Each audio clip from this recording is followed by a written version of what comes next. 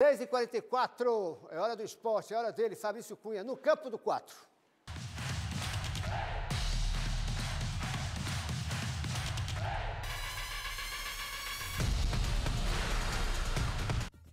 Bom dia, Bom dia, Cazé.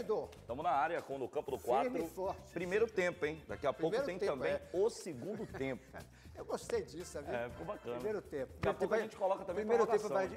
é, primeiro tempo vai... a gente vai de que hoje? A gente vai de vitória, mas antes a gente fala da janela de transferência do futebol brasileiro. Fechada no último dia 2 de setembro, teve muitas contratações. Foram mais de 100 negociações e a gente tem um resumo na tela aqui no, no Campo do 4 para você.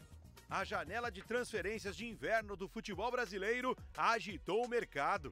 O último dia foi marcado pela chegada de mais reforços de peso. O Botafogo, por exemplo, que já tinha trazido Thiago Almada, campeão mundial com a seleção da Argentina, ainda fechou com Alex Telles, lateral esquerdo da seleção brasileira na Copa do Catar. Foi o oitavo reforço do atual líder do Campeonato Brasileiro. O clube que mais contratou, junto com o Atlético Goianiense, lanterninha da competição. Corinthians, Cruzeiro, Fluminense e Juventude fecharam sete acordos.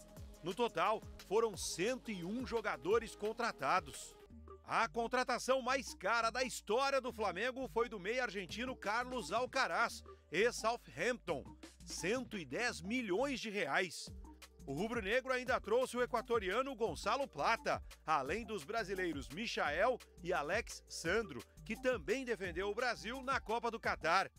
Mas em valores absolutos, ninguém gastou mais que o Cruzeiro.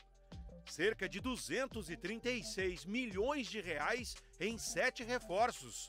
Entre eles, o gigante Cássio, que trocou o Corinthians pelo Clube Mineiro. Mais de um bilhão de reais foram investidos pelos 20 clubes da Série A do Brasileirão. Negócios milionários, outros nem tanto. O Fluminense, por exemplo, conseguiu trazer de volta o ídolo Thiago Silva sem pagar valor de transferência. Assim como o Vasco com Felipe Coutinho. Os dois estavam sem contrato. Agora é dentro de campo. Os dados estão na mesa em busca da combinação perfeita. Olha, alguns números do Botafogo são um pouco obscuros, né? A maneira do texto aí comandar a sua SAF. Se fala que o Botafogo gastou até mais do que o Cruzeiro, viu? Se fala que o Cruzeiro gastou 236 milhões, Botafogo somente em duas contratações 245. Bom lembrar que o Almada custou 137 milhões e o Luiz Henrique custou 106 milhões. Somados, já dá 245 milhões, além das outras seis contratações que o Botafogo fez. É o time que mais contratou, o time que mais gastou e o time que lidera o Campeonato Brasileiro. Nessa janela de transferências, o Vitória trouxe mais seis reforços. São mais de 30 na temporada. Matéria de Rodolfo Rage na tela. Quem contratou, contratou. E quem não contratou, não contrata mais.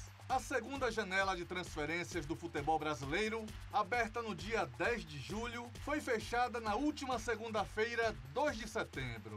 Na busca para escapar da zona de rebaixamento, o Vitória se reforçou com seis jogadores. O primeiro a desembarcar na Toca do Leão foi o volante Ricardo Hiller. Em seguida vieram os zagueiros Neres e Edu, o volante Felipe Machado e, por último, os atacantes Carlos Eduardo e Gustavo Mosquito. O Leão agora só volta a campo no dia 14 de setembro, quando visita o Atlético Goianiense no estádio Antônio Ascioli.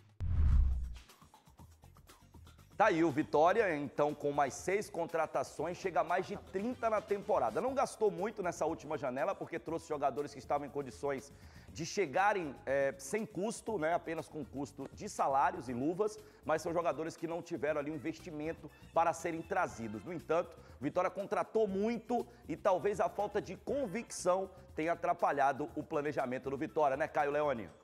A desembarcar na Toca do Leão Convicção é uma palavra que deveria ser levado a sério nas gestões do futebol brasileiro. O rubro-negro, que vive um momento ruim dentro de campo, tem explicações muito claras em relação à janela de transferências que se, se encerrou na última segunda-feira. Iniciada em 10 de julho, o Leão trouxe atletas que melhoraram o elenco, mas não o suficiente até aqui para fazer com que a equipe respirasse no Brasileirão. Ricardo Hiller, Carlos Eduardo, Neres, Felipe Machado, Gustavo Mosquito e Edu chegaram para tentar resolver lacunas no elenco. Mas os atletas que saíram não tiveram as substituições devidas. Dudu, Rodrigo Andrade, com atos de indisciplina, foram negociados. Matheus Gonçalves e Yuri Castilho são outros nomes. E para piorar, os testes foram fora de hora e dificultaram e muito a produtividade dentro das disputas. Luiz Adriano, Caio Dantas, Luan Guilherme, Zapata foram contratações que escancararam o despreparo da gestão, que demonstrou que convicção sobre futebol brasileiro passou longe no CT Manuel Pontes Tanajura. Tantos erros de contratações refletem agora na tabela do campeonato. Vitória, infelizmente, na 18ª colocação. Vitória que joga no próximo dia 14 contra o Atlético Goianiense lá no estádio do Dragão, em Goiânia. Daqui a pouco eu volto, Casemiro, para a gente Combinado, falar do fechado. Bahia e também da seleção brasileira. Essa semana tem seleção. Volto já. Tá bom. Obrigado.